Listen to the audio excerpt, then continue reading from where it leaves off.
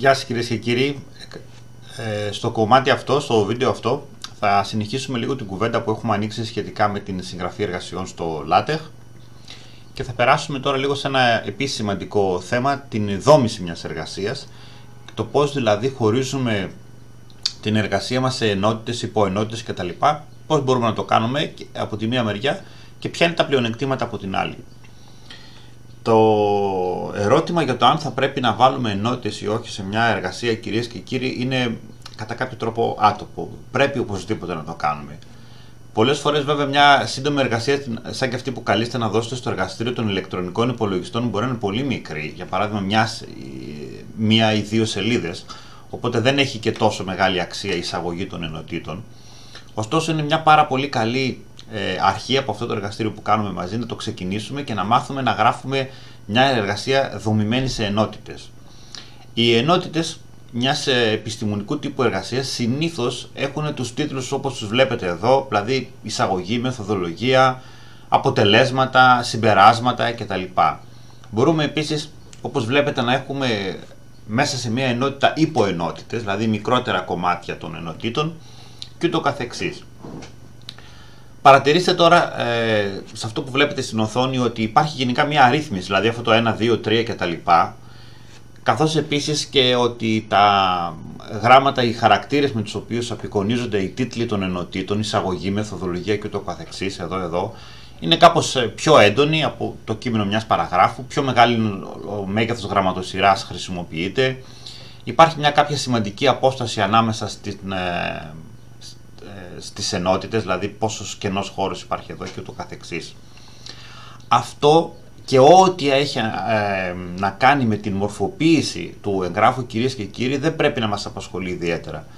Στο LaTeX γενικά και σε παρόμοια συστήματα δουλεύουμε με στόχο την δόμηση της εργασίας και όχι με στόχο την ε, εμφάνισή της. Αυτό είναι κάτι το οποίο γίνεται αυτοματοποιημένα από το πρότυπο ή το template αν θέλετε στο οποίο χρησιμοποιούμε. Αν γυρίσουμε λίγο εδώ στον κώδικα του LaTeX, θα παρατηρήσετε ότι πέρα από αυτά που έχουμε ήδη πει σχετικά με τις γλώσσες, τα ελληνικά, τα αγγλικά κτλ. Δεν έχουμε κάνει τίποτα άλλο παρά να έχουμε δώσει εδώ εντολές όπως είναι για παράδειγμα εντολή section εδώ στη γραμμή 13 ή επίσης στη γραμμή 15 ή εδώ την εντολή subsection που νομίζω καταλαβαίνετε όλοι ότι αυτό το πράγμα είναι η ενότητα και η υποενότητα. Αν μεταγλωτήσετε και δείτε λίγο το αποτέλεσμα θα καταλήξουμε εδώ, αυτό που είχαμε δει και λίγο πριν. Ε, παρατηρήστε ότι πουθενά δεν έχουμε γράψει αυτό το 1, 2, 3 κτλ. Δηλαδή, εδώ για παράδειγμα, δεν υπάρχει το 1, το 2 κτλ. Είναι κάτι το οποίο έχει βάλει αυτόματα το σύστημα και όσες ενότητες να βάλουμε ή να βγάλουμε, αυτό θα γίνει αυτόματα. Αν για παράδειγμα εδώ δεν έχετε τις, ε, ενότητες ε, της μεθοδολογίας, τα αποτελέσματα και... Οπα, συγγνώμη λίγο, ήθελα να βάλω σχόλιο και έβαλα αστεράκι. Τα σχολιάζουμε. Υπενθυμίζουμε ότι το επί της 100 σύμβολο σημαίνει σχόλιο, οπότε δεν θα ληφθεί υπόψη από το πρόγραμμα αυτή εδώ η εντολή. Έχουμε δηλαδή τώρα την εντολή section εισαγωγή και την εντολή section συμπεράσματα. Αν και εδώ μεταγλωτήσουμε και δούμε το αποτέλεσμα κυρίες και κύριοι, θα δούμε ότι αυτόματα έχουμε περάσει στο 1 και στο 2 δεν χρειάζεται και δηλαδή εμείς να του πούμε ότι τα συμπεράσματα από 4 που ήταν πριν έγιναν 2 τώρα. Το καταλαβαίνει, το κάνει και τελειώνει η υπόθεση εδώ. Αν τώρα στη συνέχεια προσθέσω μια ακόμα ενότητα, είτε στην αρχή είτε στο τέλος, και το ξαναμεταγλωτήσουμε, θα δούμε τώρα ότι αυτόματα το, τα συμπεράσματα που ήταν 2 γίνανε 3, έχει εισαχθεί η μεθοδολογία που ήταν 2 και το καθεξής. Δεν θέλω να σας κουράσω περισσότερο, απλά σας λέω και το έχουμε πάντοτε υπόψη μας ε, για να το ξέρουμε, ότι η αρρύθμιση δεν είναι δικιά μας δουλειά, είναι δουλειά του συστήματος, εμείς απλά του βάζουμε ή του βγάζουμε κάποιο τίτλο ενότητας και στη συνέχεια το σύστημα LaTeX μπορεί να, να τις αριθμίσει με το σωστό τρόπο κτλ. Υπενθυμίζουμε επίσης ότι μπορούμε να έχουμε εκτός από ενότητες τις υποενότητες, δηλαδή μικρότερα κομμάτια του εγγράφου μέσα σε μια ενότητα, αυτό εδώ χρειάζεται να μπει σαν subsection όπως βλέπετε, όπως είναι εδώ. Και αν αυτό τώρα το μεταγλωτήσουμε θα παρατηρήσετε ε, ότι η αρρύθμιση εδώ δεν έγινε από το 3-4, δηλαδή επειδή έχουμε υποενότητα, αλλά σταμάτησε το 3 εδώ και βάλαμε το τελεία 1, δηλαδή είμαστε στην πρώτη υποενότητα της τρίτης ενότητας. και το καθεξής. 1, 2, 3 μπορούμε να βάλουμε όσες, όσες θέλουμε. Από την άλλη μεριά έχετε υπόψη σας ότι μπορούμε να βάλουμε ε, τις λεγόμενες υπο-υποενότητες. Να πάμε δηλαδή κι άλλο ένα επίπεδο προς τα κάτω, να, να γράψουμε εδώ για παράδειγμα, ας τη γράψουμε αυτήν εδώ σαν, ας βάλω εδώ ένα, για να τα ξεχωρίζουμε, όχι για κανέναν άλλο λόγο, αυτές τις παύλες, την υπο-υποενότητα, ας αφαιρέσω και τον τόνο, δεν χρειάζεται. Για κοιτάξτε λίγο τώρα το αποτέλεσμα αυτής της διαδικασίας. Θα περάσουμε στο 3-3, ε, Οπ, συγγνώμη λίγο. Ξέχασαμε να βάλουμε το subsection εδώ. Ναι, ναι, τώρα είμαστε σωστοί, εντάξει. Ήμασταν subsection, subsection, τώρα έχουμε sub-subsection. Λοιπόν, τι παρατηρούμε τώρα εδώ κυρίες και κύριοι, ότι έχουμε βάλει το 3.2.1. Έχουμε γράψει δηλαδή μια ε, υπο-υποενότητα και ούτω καθεξής. Αυτό μπορεί να πάει αρκετά βαθιά, δηλαδή να έχουμε και τρίτο και τέταρτο και πέμπτο επίπεδου ε, υποενότητες. Από ένα σημείο και μετά όμως είναι κουραστικό, αναγνώσεις χάνεται, γενικά ε, δεν πολύ χρησιμοποιούμε ε, τουλάχιστον συχνά σε εργασίες περισσότερο από δεύτερου ή τρίτου επίπεδου ε, ενότητες. Και εδώ τώρα θα το διαγράψω αυτό εδώ, δεν το χρειαζόμαστε στο παρόν. Αν το χρειάζεστε σε κάποια άλλη περίπτωση είναι αποδεκτό, αλλά γενικά σας λέω ότι σε ένα έγγραφο τύπου articles, ε, ενός άρθρου, μιας εργασίας κτλ. Νομίζω ότι αυτή η δεύτερη επίπεδου δόμηση, δηλαδή έχοντας μόνο τις ενότητες και τις υποενότητες, ε, είναι υπεραρκετή για να διευκολυνθείτε τόσο εσείς που τη γράφετε, όσο και ο αναγνώστης για να την ε, διαβάσει. Για να γυρίσουμε λίγο πάλι εδώ να δούμε πώς είμαστε και θα σας πω λίγο τώρα το εξής κυρίες και κύριοι. Πολλές φορές αυτή η αρρύθμιση είναι κάτι την οποία θέλουμε και επιδιώκουμε να έχουμε στην εμφάνιση της εργασίας μας. Από την άλλη μεριά όμως κάποιες φορές είναι κάτι το οποίο δεν το επιθυμούμε. Αυτό συχνά συμβαίνει στα χαμηλότερο επίπεδο, ε, στις χαμηλότερο επίπεδο δομές. Για παράδειγμα είναι πολλές φορές επιθυμητό να γράφουμε το 3 σαν αποτελέσματα, δηλαδή την τρίτη ενότητα που είναι η ενότητα των αποτελεσμάτων της εργασίας, αλλά δεν θέλουμε να λέει 3-1, 3-2 και το καθεξής. Για να αφαιρέσουμε με λίγα λόγια την αρρύθμιση από τον τίτλο μιας ενότητας, το μόνο που χρειάζεται να κάνουμε είναι να βάλουμε εδώ ένα αστεράκι. Ας το βάλουμε και εδώ. Έτσι τώρα θα κρατήσουμε όλα τα χαρακτηριστικά της μορφοποίησης εκτός από την αρρύθμιση. Σας υπενθυμίζω ότι η... ενώ εμείς εδώ έχουμε γράψει απλά τη λέξη εισαγωγή, τη λέξη εισαγω... μεθοδολογία κτλ.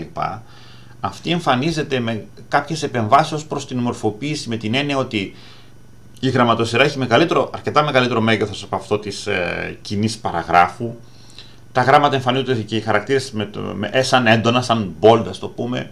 Υπάρχει αρκετά, αρκετός κενός χώρος ανάμεσα στις ε, παραγράφους ή και στις ε, ενότητες έτσι ώστε να διευκολύνεται η ανάγνωση κτλ. Μπορούμε για παράδειγμα εδώ να γράψουμε μια απλή παράγραφο, ας πούμε ότι εδώ γράφουμε την εισαγωγή, εδώ γράφουμε την εισαγωγή το, της εργασίας. Να το χωρίσουμε αυτό εδώ.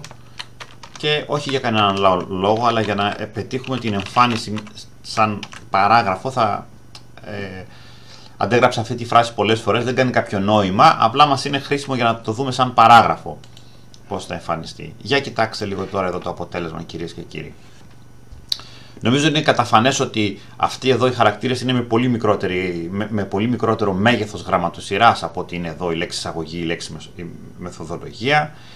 Ε, δεν είναι bold, δεν είναι έντονοι χαρακτήρες.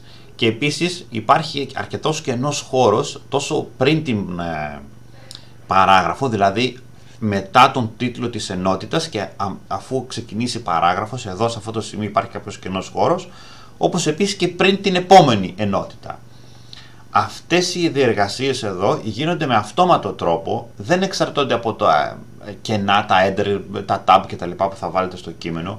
Εδώ δηλαδή για παράδειγμα δεν έχουμε βάλει κανένα κενό, ε, καμία κενή γραμμή και υπάρχει κενός χώρος. Αν προσθέσουμε κάποιο κενό χώρο στο latex, στις εντολές εδώ του latex που δίνουμε, αυτό δεν θα επηρεάσει το αποτέλεσμα, δεν θα αλλάξει κάτι δηλαδή. Αυτό που ε, χρησιμοποιείται εδώ είναι η αυτόματη ρύθμιση που λέει ότι ανάμεσα στον τίτλο μιας ενότητας και στο κείμενο της παραγράφου που είναι μέσα σε αυτή την ενότητα Υπάρχει και πρέπει να υπάρχει αυτός ο κενός χώρος. Τελεία. Είτε βάλουμε enter είτε δεν βάλουμε, θα το κάνει και θα τελειώσει η υπόθεση εκεί. Παρατηρήστε επίσης κυρίες και κύριοι ότι η, η, ο, ο, ο, τρόπος, συγγνώμη, ο τρόπος με τον οποίο δηλώνουμε αυτές εδώ πέρα τις, ε, τις ενότητες δεν έχει να κάνει με την μορφοποίησή τους. Δηλαδή δεν λέμε κάνει την εισαγωγή bold εμείς ή δεν τις είπαμε μεγάλωσε τα γράμματα κτλ. Απλά του είπαμε ότι αυτό το κείμενο είναι η εισαγωγή και τελειώνουν όλα εκεί. Ποιο, ποιο είναι τώρα το πλεονέκτημα της δόμησης ενός εγγράφου; Ένα καταφανές πλεονέκτημα κυρίες και κύριοι είναι το γεγονός, το πολύ απλό γεγονός ότι η ανάγνωση είναι πάρα πολύ πιο εύκολη. Όταν έχουμε μια εργασία, βέβαια, μια σελίδα, αυτό δεν είναι κάτι που χρειάζεται, αλλά σε μια μεγαλύτερη εργασία, σε ένα μεγαλύτερο κείμενο, 5, 10, 20, 100, δεν ξέρω και εγώ πόσο σελίδων, ε, κάτι τέτοιο είναι αναγκαίο για να διευκολυνθεί ο αναγνώστης. Και νομίζω όλοι σας, όταν έχετε ανοίξει ένα βιβλίο ή μια εργασία, βλέπετε κεφάλαια, ενότητες, υποενότητες και ούτω καθεξής.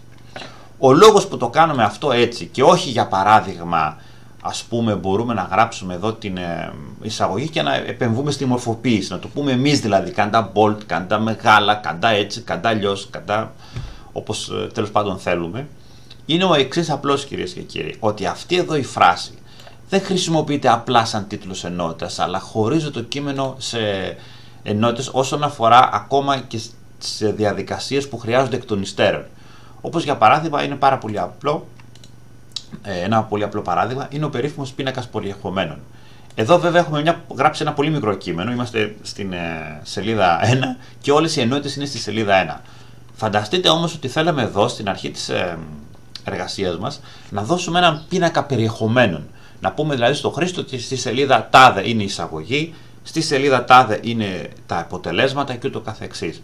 Πώς θα το κάναμε αυτό εδώ; Σε μεγάλα έγγραφα, κυρίες και κύριοι, κάτι τέτοιο χειροκίνητα δεν είναι και τόσο απλό, ειδικά όταν ε, αυξομειώνεται το μέγεθος του εγγράφου. Δηλαδή, προσθέτουμε και άλλες εργασίες ε, και άλλες ενότητες, βγάζουμε, μεγαλώνουν οι σελίδες μιας ενότητας και ούτω καθεξής. Στο LaTeX, κυρίες και κύριοι, το μόνο που χρειάζεται να κάνουμε είναι εδώ, στην αρχή, εκεί που θέλουμε να βάλουμε δηλαδή αυτό το πίνακα περιεχομένου, να δώσουμε την εντολή Table of Contents. Αυτή είναι εδώ. Τα υπόλοιπα είναι δουλειά του LaTeX να γίνουν και θα γίνουν πάρα πολύ εύκολα και απλά. Δείτε λίγο εδώ το αποτέλεσμα. Εύκολα και γρήγορα λοιπόν έχουμε πάρει μία ε, λίστα με, τις, ε, με τα περιεχόμενα. Βέβαια εδώ μας λέει ότι η εισαγωγή είναι στην ε, σελίδα 1, η μεθοδολογία στη σελίδα 1 και το καθεξής.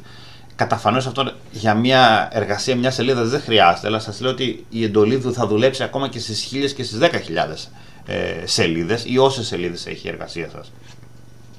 Συγγνώμη. Λοιπόν, ας κάνουμε λίγο το εξής. Α δώσουμε τώρα λίγο εδώ και τις υποενότητες και θα σας πω λίγο το εξής.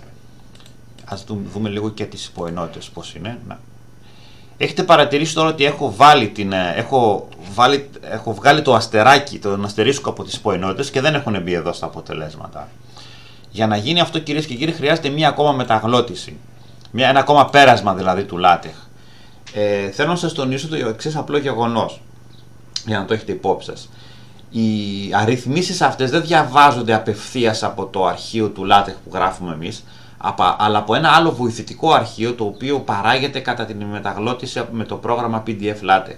Γι' αυτό το λόγο, όταν μεταβάλλεται η λίστα των ενωτήτων ενός εγγράφου ή αλλάζει η σελίδοποίηση του κτλ. Θα πρέπει να εκτελείτε την ε, μεταγλώτηση δύο φορές έτσι ώστε να διαβαστεί το σωστό αρχείο. Μία φορά να κατασκευαστεί και μία φορά για να τοποθετηθούν σωστά τα περιεχόμενα. Παρατηρήστε επίσης ότι τη λέξη περιεχόμενα δεν την έχουμε γράψει πουθενά. Απλά όταν ζητάμε τον πίνακα περιεχομένων, ε, μαζί με ε, όλα τα υπόλοιπα, ζητάμε και ένα τίτλο και αυτόματα μπαίνει ο τίτλος περιεχόμενα.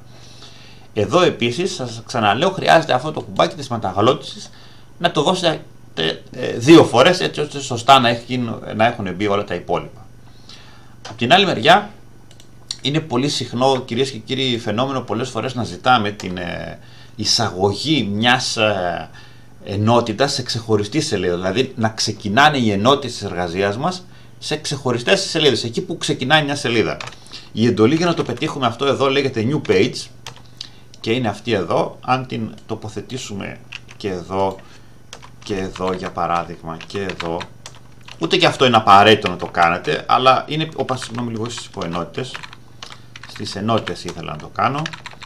Ούτε και αυτό σας λέω είναι τελείως απαραίτητο, αλλά σε μερικές περιπτώσεις είναι χρήσιμο. Δηλαδή μια μεγάλη εργασία είναι καλό να έχει τις ε, ενότητες να ξεκινάνε από ξεχωριστή σελίδα και πάλι για να διευκολύνεται ο χρήστης όταν θέλει να μεταβεί από ενότητα σε ενότητα και ούτω καθεξής. Σε αυτή την περίπτωση κοιτάξτε λίγο τώρα τη σελιδοποίηση. Αν το περάσουμε μία φορά, ενώ βλέπετε τώρα ότι εδώ έχουμε πάει στις 5 σελίδες, στην πρώτη είναι τα περιεχόμενα και μετά αρχίζουν οι ενότητες 1, 2, 3, 4 κτλ. Δεν έχουμε σωστά τι πράγμα. Τα νούμερα, ε, ε, τους αριθμούς των σελίδων, τη σελιδοποίηση δηλαδή. Δεν είναι κάτι που έχει γίνει λάθος, αλλά σας το ξαναλέω θα χρειαστεί να το περάσετε δεύτερη φορά. Να, ξανατρέξετε λέει την εντολή εδώ, και έτσι πολύ απλά να έχετε τώρα τη σωστή σας ε, αρρύθμιση. Δηλαδή ότι η εισαγωγή είναι στο 2, η μεθοδολογία στο 3, τα αποτελέσματα στο 4 και ούτω καθεξής. Παρατηρήστε επίσης, για να κλείσουμε λίγο αυτό το βίντεο σχετικά με τη δομή του εγγράφου με τις ενότητες, ότι ο πίνακας περιεχομένων όχι μόνο έχει τις σελίδες, αλλά έχει μορφοποιήσει επίσης και τους τίτλους των ενωτήτων. Οι ενότητες είναι με πιο έτσι, έντονα γράμματα, όπως και εδώ η σελίδα τους, οι υποενότητες με πιο ελαφριά, μοιάζει λίγο σαν παράγραφος και ούτε καθεξής. Μέσα στην ενότητα έχουν τοποθετηθεί οι υποενότητες με κάποια έτσι δεξιότερη στήχηση. Αυτές οι τελίτες μας βοηθούν πιο εύκολα να βρίσκουμε με το μάτι έτσι, καθώς τρέχουμε οριζόντια την σελίδα της ε, σελίδας και το καθεξής. Αυτό κυρίες και κύριοι δεν θα μπορούσαμε να το πετύχουμε αν χειροκίνητα κάναμε την ε, εισαγωγή των ε, ενότητων και ούτω καθεξής. Και ένας από τους βασικούς λόγους που χρησιμοποιούμε τη δόμηση του εγγράφου είναι αυτός. Να χρησιμοποιούμε δηλαδή αυτά τα οποία είναι μέσα στην εντολή section, sum, section κτλ. για πολλούς άλλους λόγους. Καλή ώρα για να βάλουμε τον πίνακα περιεχομένου μιας εργασίας. Λοιπόν, αυτά σχετικά με τις ενότητες. Ελπίζω τους 2-3 ε, απλούς κανόνες που είπαμε να τους στηρείτε πάντοτε. Καλή σας ε, συγγραφή και καλή δόμηση εγγράφων να έχετε.